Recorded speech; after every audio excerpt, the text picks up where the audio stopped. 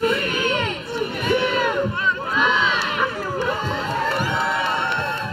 pandemic has made it a tough year for charity events. In previous Septembers, this has been one of the biggest, the Terry Fox Run. 2020 marks 40 years since his Marathon of Hope. An anniversary edition of his iconic shoes sold out in minutes. The Terry Fox Run still went ahead virtually. Participants were encouraged to raise money for cancer research their way and post their efforts on social media. More than 25,000 fundraisers in all, chalking up nearly $5 million.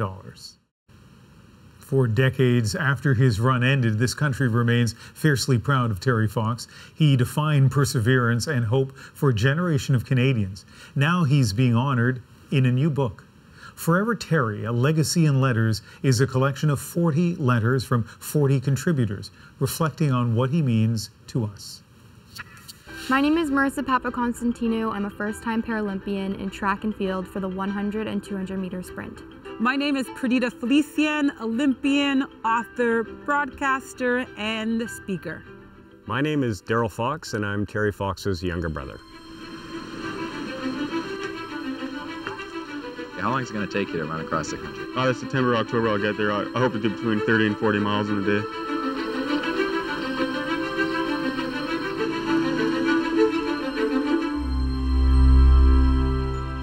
Moment I realized Terry had captured the imagination of Canadians is actually the very first day I arrived, May 31st, 1980.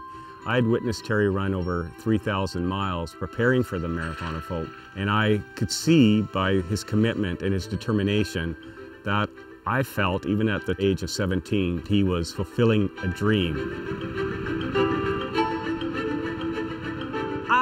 Don't remember a time where Terry Fox was not a part of my memory, part of our fabric as Canadians. I had gone through my year and a half of chemotherapy, the hardest time of my life, when I might have died, but I lived, knowing that these people are still there. There's people in a bed right now.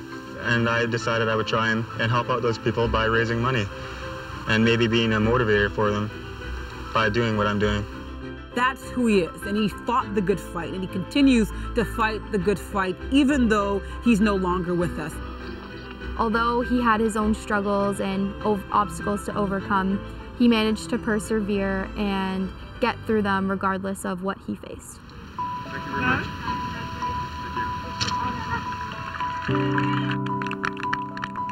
People tell me to quit. I look at it, if you got a heart and a mind and you're happy, then why, why change what you're doing? I feel connected to Terry because he was the very first individual that I saw that also happened to be an amputee that really demonstrated power and resilience. I feel that losing my leg has not hindered my life. It's helped me. I'm happier than before. I find things more rewarding than before. As a young girl growing up with a disability, that was huge for my confidence. Lane 7 for candidate to Marissa Papaconstantinou. And being able to adapt to any situation that came my way. Papaconstantinou in third. I always say to people on the street, you could take my other leg away, and I'd probably be even tougher than I was. I am right now with one. He was an athlete, and I think sometimes that's lost in his story. To even start an ambition like the Marathon of Hope and to run a marathon every single day for thousands and thousands of kilometers, you'd have to, you know, have the mind of an athlete. And so I feel connected to him in that way. The part of Terry that my family and I carry with us every day is that life is short. Um, do not take it for granted. Terry said that he made a mistake uh, in the 18 years before he was diagnosed with cancer, that he was very self-centered.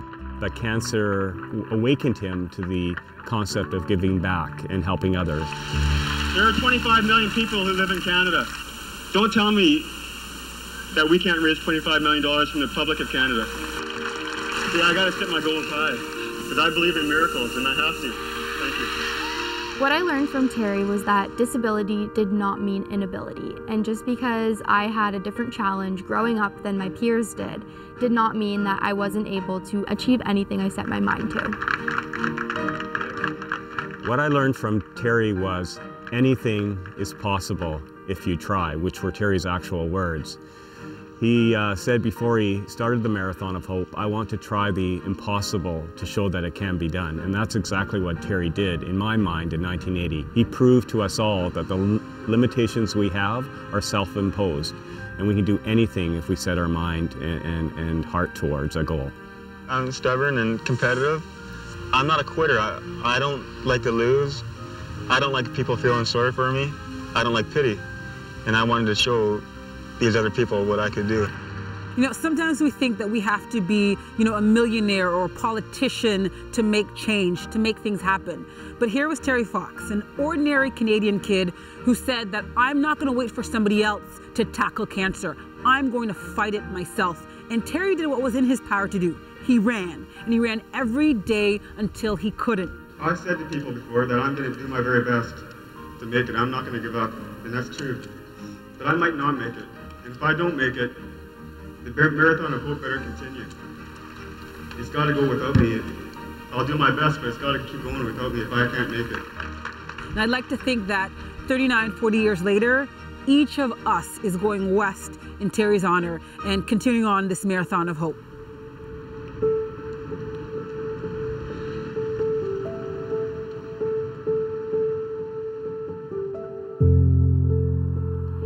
Believe Terry Fox's legacy is resilience and power, and it's been able to carry on with Canadians all throughout Canada. I believe Terry Fox's legacy is that each one of us can make change. We can make a difference. Whatever the causes are, if we start locally, if we start in our own backyards, we might not know where these changes will take us. They might not be as big as the Marathon of Hope, but I don't think that matters. Just pick up something, be passionate about it, and fight for that cause, whatever it is. I believe Terry's legacy is very much alive and very vibrant. I like Terry. It's hard to believe we're now 40 years removed from the Marathon of Hope, but it's as if it was last week that Terry was running because Canadians, Terry Foxers, from east to west, from north to south, are continuing what he started in 1980, and we will not rest until his dream of eradicating cancer once and for all is eliminated.